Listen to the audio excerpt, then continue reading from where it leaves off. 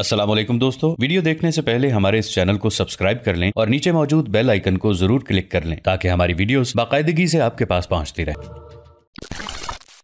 मैं यहाँ से सीधा आगे जाऊँगा और पेलगोश के लश्कर पर जुनूब की तरफ़ से हमलावर हूँगा जब मैं और पेलगोश दोनों एक दूसरे से बुरी तरह टकरा जाएँगे तो शिमाल की तरफ़ से तुम हमलावर होना। जब तुम ऐसा करोगे तो मैं आगे बढ़ूँगा और जुनूब की जानब पूरी कुत और पूरी शिद्दत के साथ पेलगोश के लश्कर पर हमलावर हूँगा और मुझे उम्मीद है कि मैं पेलगोश ही नहीं, उसके लश्कर की अक्सरियत को भी मौत के घाट उतार दूँगा। मेरे भाई, इस सिलसिले में तुम्हें कोई एतराज़ हो तो कहो। सारे सालारों ने इससे इत्तेफाक किया। चुनाचे सूरज गुरूब होने से थोड़ी देर पहले, जबकि मशरक की तरफ़ से रोशनी फूटना शुरू हो चुकी थी, निजामुद्दीन और आरिज जुजनी हरकत में आए। सबसे पहले आरिज जुजनी ने अपने काम की इब्तदा की। वो अपने हिस्से के लश्कर को लेकर थोड़ा सा चक्कर काटते हुए पेलगोश के लश्कर के शिमाल की तरफ़ गया। चुनाचे उसके रवाना होने से थोड़ी देर बाद निजामुद्दीन भी अपने लश्कर के साथ घात से निकला और शिमाल की तरफ़ बढ़ा। निजामुद्दीन अपने लश्कर के साथ मंगोलों के लश्कर के करीब दहर की रसूम कयूद से आज़ाद होकर चट्टानों से टकराते नीले बहर की तरह नमूदार हुआ। खोलती सदाओं की बाजगश्त आतशी धारों की तरह आगे बढ़ा। इसके बाद वो पेलगोश के लश्कर पर खून के भमर खड़े करते आंधियों के शनासा बहर कजाव फना से मावरा अजायम की फौलादी पुख्तगी, तकदीर का अजाब बनकर नजूल करते जकड़ों के महरमों और तीरगी में रोशनी की सरबुलंदी और सरफराजी का बायस बनते जलजलों से गले मिलते रक्स करते रात की तरह हमलावर हो गया। पेलगोश ने जब देखा कि मुसलमानों का एक लश्कर अचानक कहीं से नमदार होकर उस पर हमलावर हो गया है तो वो भी हरकत में आया और शब के सायों में गलता ख्वाबों की जंजीरों के हल्के तोड़ते, बेचैन शरारों के खरोश, जिसमो जान की कम भटकती सदाओं में खोलते इशारों को नज़रों की आखिरी हदूद में गुम कर देने वाली मर्ग की खोलती सदाओं और ख्यालों की दुनिया में खून की डूबी उम्मीदें खड़ी करते, कहरमानियों के जलते धारों की तरह हमलावर हो गया। पेलगोश खुश था कि उसके मुकाबले में मुसलमानों का एक छोटा सा लश्कर है और उसे लम्हा के अंदर धोकर रख देगा और उनका खात्मा कर देगा। लेकिन थोड़ी देर के बाद एक और तब्दीली नमूदार हुई और वो ये कि आरिज जोजनी अचानक शिमाल की तरफ़ से नमूदार हुआ फिर वो पेलगोश के लश्कर पर शिमाल की तरफ़ से गर्दिश मिकयास में दर्द की धुंध फैलाते सरसामों एहसास के बेकिनार दश्त में बहरानी कैफियत बर्पा करते अजाबों के होलनाक आशोब, लहर भरी वारदातों में फना की तख्तियाँ लिखते पुराशोब अंधियाओं की तरह हमला आवर हो गया। रजमगाह की हशर सामानियों में नब्जे नहीफ होने लगी थी। जिल्लत के तंदरीले रग रग में तला तो मुठने लगे थे। उदासी के जर्द लम्हात खड़े करते तशद भरी तेग जनी फना के खूनी रक्स बर्पा करने लगी थी। मंगोल, जुल्म जिनकी फितरत, कत्ल जिनकी आदत, जबर जिनकी सरिश थी। जब निजामुद्दीन और आरिज जोजनी ने जनूब और शिमाल की तरफ़ से उन पर जानलेवा हमले करते हुए उनके साथियों का कत्लेआम शुरू कर दिया, तब मंगोल घूरती आँखों और चेहरों पर सवालात के अंबार लिए एक दूसरे की तरफ़ देख रहे थे। ऐसे में अपने चंद दस्तों के साथ बड़े पुरजोश अंदाज में निजामुद्दीन ने यलगार की और मंगोलों के लश्कर के सालार पेलगोश के सर पर जा पहुँचा। दोनों थोड़ी देर के लिए आपस में टकराए और इस टकराव के नतीजे में निजामुद्दीन ने पेलगोश की गर्दन काट के रख दी। पेलगोश जू ही लाश की सूरत में घोड़े से गिरा और जिस जिस मंगोल ने उसकी ये कैफियत देखी, उनके जहनों पर खूनी दस्तक, दिलों पर जिल्लत के अक्स नजूल कर गए थे। चुनाचे निजामुद्दीन के हाथों पेलगोश के मारे जाने की खबर एक कान से दूसरे कान होती हुई पूरे लश्कर में फैल गई। चुनाचे मंगोलों ने शिकस्त कबूल की और भाग खड़े हुए। कुछ दूर तक निजामुद्दीन और आरिज जोजनी ने उनका ताकब करके उनकी तादाद को मजीद कम किया। फिर दोबारा वो जिस जगह से आए थे, वहीं जाकर उन्होंने घात लगा ली और अपने अतराफ में उन्होंने हसब सबक अपने मुखबिर और हरकारे फैला दिए। चंगेज खान को अभी तक ये खबर नहीं पहुँची थी कि निसा शहर के नवाह में उसके सिपा सालार पेलगोश पर क्या बीती है कि उसने अपने दामाद पंजार को पेलगोश से भी एक बड़ा लश्कर दे दिया और उसे निशापुर की तरफ़ रवाना किया ताकि वो निशापुर पर हमलावर हो। और इतनी देर तक पेलगोश भी निसा शहर से फारग होने के बाद पंजार से आकर मिल जाएगा और पूरे लश्कर की कमानदारी पंजार के हाथ में आ जाएगी। चुनाचे चंगेज खान के हुक्म पर उसका दामाद कंजार एक बहुत बड़ा लश्कर लेकर निशापुर की तरफ़ रवाना हो गया। इस दौरान चंगेज खान को निशापुर से बाहर पेल गोश के मारे जाने और अपने अनगिनत लश्करियों के मुसलमानों के हाथों मारे जाने की खबर मिली। तो उसे सख्त दुख और सदमा हुआ। उसका दामाद कंजार तो निशापुर आके पड़ाव कर गया था। अभी उसने वहाँ हमलों की इब्तदा नहीं की थी, जबकि चंगेज खान ने निसा शहर को फतह करने के लिए एक और लश्कर भेज दिया। इस लश्कर ने उन सारे भगोड़े मंगोलों को अपने साथ मिला लिया, जो निजामुद्दीन और आरिज जोजनी के हाथों शिकस्त उठाने के बाद भागे थे। चुनाचे वो लश्कर भी, जब निसा पहुँच गया, तब जिस जगह निजामुद्दीन और आरिफ जुजनी ने घात लगा रखी थी, वहाँ से वो उठे और नेशापुर शहर का उन्होंने रुख किया। दूसरी तरफ़ निसा शहर की हालत हुई के बकौल मौरखीन पेल गोश तो मारा गया, लेकिन निसा शहर का कोई वाली वारिस नहीं था। मंगोलों को कुमक पहुँच चुकी थी। निसा शहर के अंदर जो लश्कर था, मर्रखीन के मुताबिक उसने चौदह दिन तक मंगोलों का मुकाबला किया। आखिर वो हिम्मत हार बैठे और शहर फतह हो गया। चूँकि मौरखीन के मुताबिक निसा शहर से बाहर चंगेज खान का बेहतरीन सालार पेलगोश मारा गया था। चुनाचे शहर के फतह होने की देर थी कि मंगोल दरिंदों की तरह शहर के लोगों पर टूट पड़े और अहले शहर को उन्होंने काट के रख दिया। निजामुद्दीन ने अहद किया था कि वो पेलगोश को मौत के घाट उतारेगा और पेलगोश के बाद वो चंगेज खान के दामाद कंजार की गर्दन भी काटेगा। निजामुद्दीन और आरिफ जुजनी निसा शहर से रवाना होकर निशापुर शहर की तरफ़ रवाना हुए तो उन्हें खबर मिली कि सुल्तान अलाउद्दीन ख्वारजम शाह ने निशापुर शहर में ही कयाम किया हुआ है। चुनाचे वो बड़ी तेज़ी से निशापुर शहर की तरफ़ बढ़े, ताकि सुल्तान से गुजारिश करें कि वो निशापुर शहर में ही कयाम करे और जो लश्कर उसके पास है, उसके कुछ हिस्से हमारे हवाले कर दे। शहर के अंदर से सिर्फ़ सुल्तान जरब लाए, बाहर से हम जरब लगाएँगे और जो भी मंगोल नेशापुर पर हमलावर होंगे, उन सबको काट के रख देंगे। लेकिन हालात की सितम जरीफी, वक्त की बदकिस्मती के निजामुद्दीन और आरिफ जुजनी अभी रास्ते में ही थे कि सुल्तान निशापुर से निकलकर किसी दूसरी मंजिल की तरफ़ रवाना हो चुका था। मर्रखीन सुल्तान अलाउद्दीन के निशापुर की तरफ़ आने से मुतालिक तफसील के साथ लिखते हैं कि जब सुल्तान अलाउद्दीन मंगोलों के डर से भागा था तो उस दौरान उसका गुजर निशापुर से भी हुआ था। घबराहट के आलम में वो न जंग लड़ सकता था और न ठहर सकता था। उसकी इस बदहवासी से सारा मुल्क बदहवास हो रहा था। उधर मंगोलों का तरीक़ाकार ये था कि जिस शहर को फतह कर लेते, उसे लूट कर अहले शहर को कत्ल कर देते, ताकि अहले मुल्क की रही सही कुत मजाहमत भी जवाब दे जाए। इस पर सितम ये कि सुल्तान दो लाख के लश्कर को अपने साथ लिए फिरता था, और जहाँ से गुजरता था, वहाँ के लोगों की हौसला अफजाई करने की बजाय, उनको ये मशवरा देता कि मंगोलों से लड़ने की बजाय बेहतर ये होगा कि तुम उनसे इजहार अतात कर लो। यही मशवरा उसने अहले नेशापुर को भी दिया था। लेकिन निशापुर के लोगों ने मंगोलों के तौर तरीके देख रखे थे। वो जानते थे कि मौत से फरार मुमकिन नहीं, इसलिए बेबसी की मौत की बजाय लड़कर मरना हज़ार हाथ दर्जा बेहतर है। चुनाचे उन्होंने सुल्तान के मशवरे को ठुकरा दिया और दिफाई इंतज़ाम की दुरुस्ती में लग गए। मौरखीन ये भी लिखते हैं कि सुल्तान अभी निशापुर में मुकीम था कि उसे उसके जासूसों ने खबर दी कि चंगेज खान ने अपने सालार सुबदाई की सरकर्दगी में सुल्तान ख्वारजम शाह को पकड़ने के लिए जो लश्कर मुकर किया था, वो निशापुर का रुख किए हुए है। चुनाचे सबसे पहले बकौल मौरखीन उसने उमर काफ़ी से रबता किया, जो उसके साथ लश्कर में शामिल था। सुल्तान को निजामुद्दीन और आरे जुजनी के भी इस समत आने की खबर मिल चुकी थी। उसकी तरफ़ भी। सुल्तान ने पैगाम भिजवाया कि वो उसकी गैर हाजिरी में नज्म नस्क का ख्याल रखें और खुद शिकार खेलने के बहाने वहाँ से कूच कर गया। सुल्तान की निशापुर से रवानगी के वक्त निशापुर का हाकिम शरफुद्दीन किसी तकरीब के सिलसिले में निशापुर से बाहर आया हुआ था। जब उसे सुल्तान की निशापुर से रवानगी का इल्म हुआ तो इस ख्याल से कि कहीं उसकी गैर हाजिरी में कोई नागवार हादसा रूनुमाना हो जाए, फ़ौरन निशापुर को रवाना हो गया। लेकिन अभी वो निशापुर से तीन ही मंजिल दूर था कि फौत हो गया।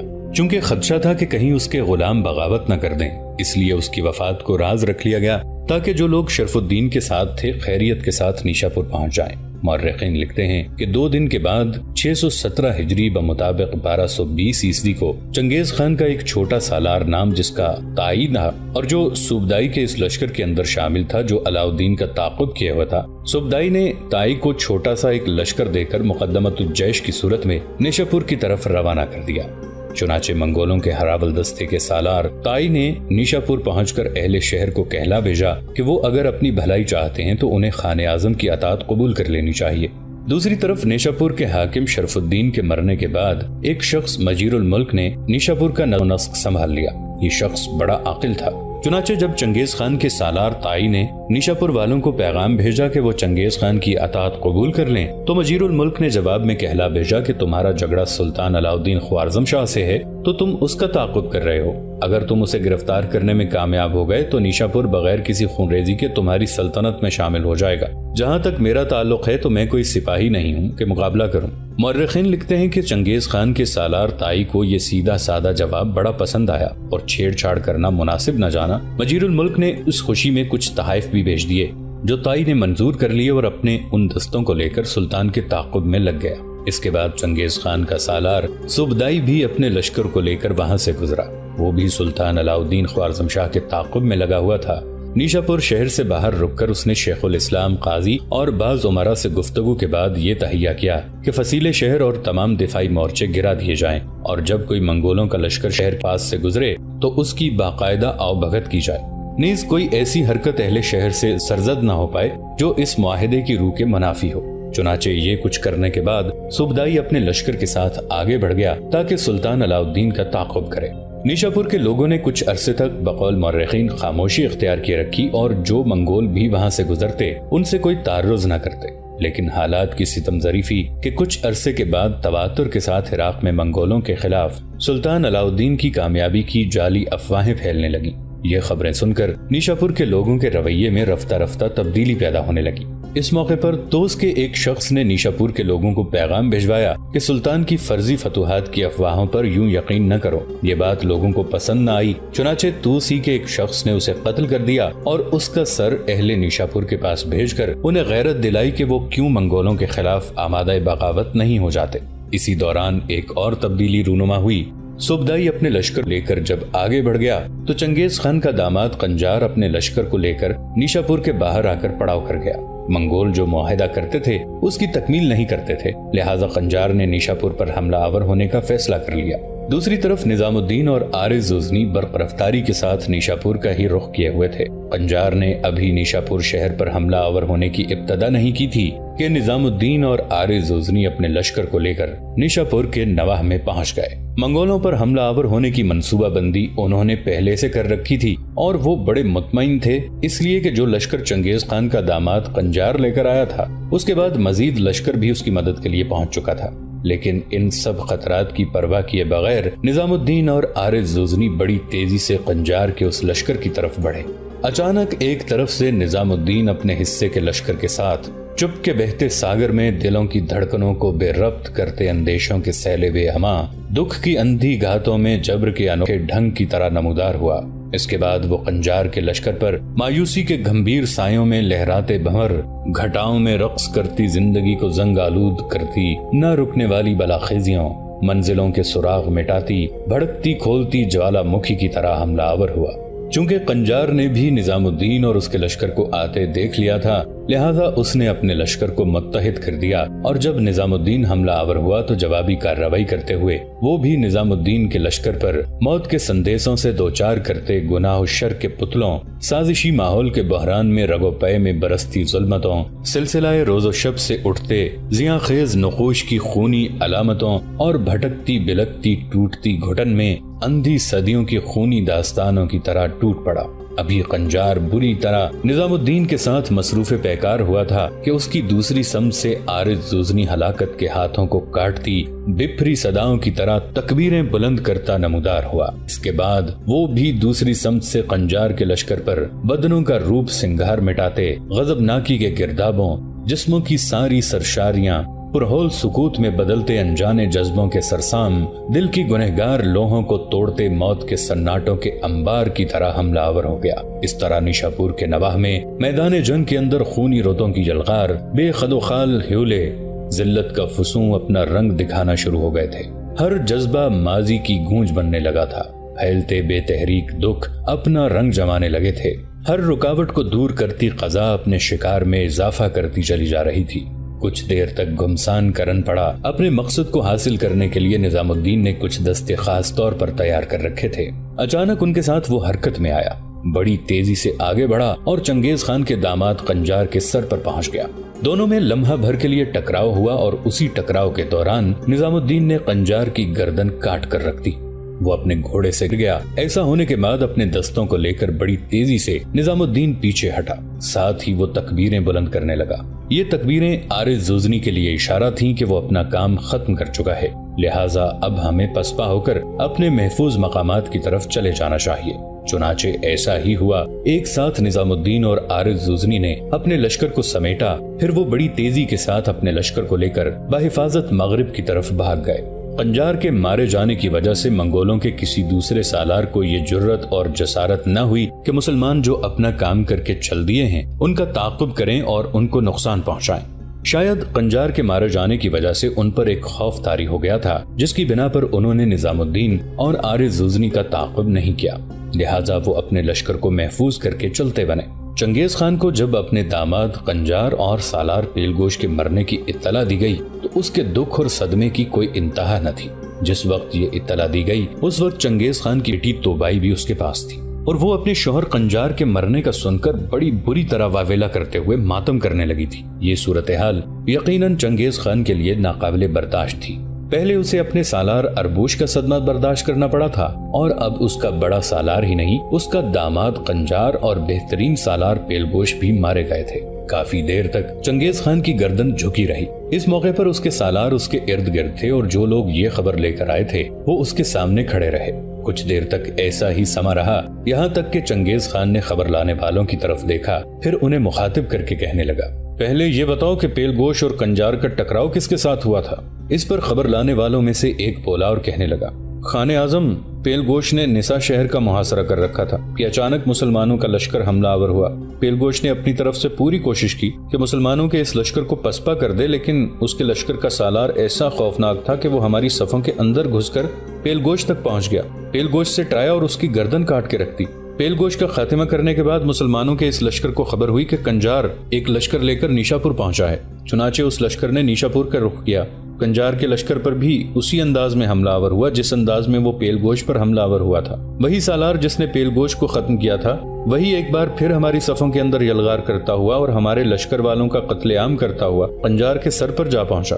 कंजार सिर्फ़ एक लम्हा उसका मुकाबला कर सका और मुसलमानों के उस सालार ने कंजार की भी गर्दन काट के रख दी। चंगेज खान कुछ देर गम में डूबा रहा, फिर आने वाले उस मुखबिर की तरफ़ देखा और कहने लगा क्या ये पता चला है कि हमलावर मुसलमानों के लश्कर का सालार कौन था? मुखबिर झट से बोला और कहने लगा, खान आज़म, उस लश्कर का सालार वही निजामुद्दीन था। निजामुद्दीन का नाम सुनकर चंगेज खान एक बार फिर गहरी सोचों में डूब गया।